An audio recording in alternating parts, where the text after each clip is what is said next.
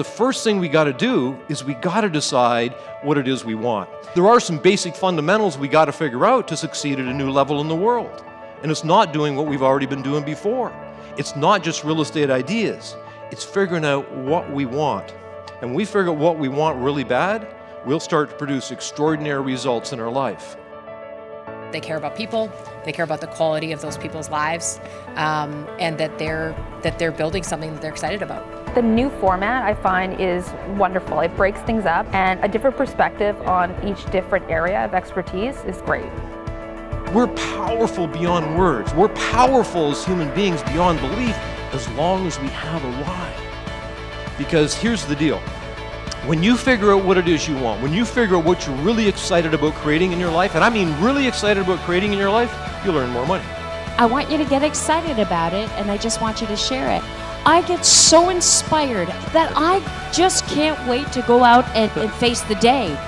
It gives you in-depth analysis of what's happening with the real estate market and what you should do to master your skills.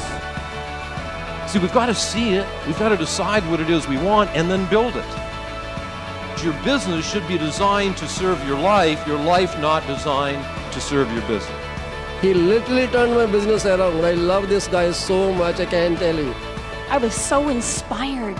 I was listening to all those panelists and all the great jobs they've done, and I was sitting in my seat, and my pit of my stomach was like, I gotta be a part of this.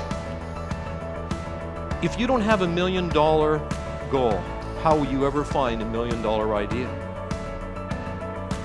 Sometimes I hit a goose egg. As long as you push through and find the opportunities of how you could improve, that failure is only just a, a marking on the map. It's a blip on the radar. I challenge you to push through that and find ways that you can improve each and every time.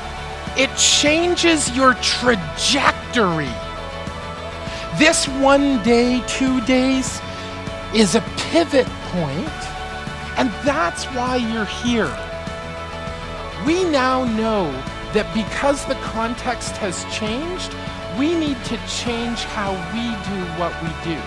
If you focus on the great things you want to produce in your life, then what will happen is you'll start to feel differently. When you start to feel differently, you start to act differently. When you start to act differently, you start to produce results in your life. Bingo! That's how you do it.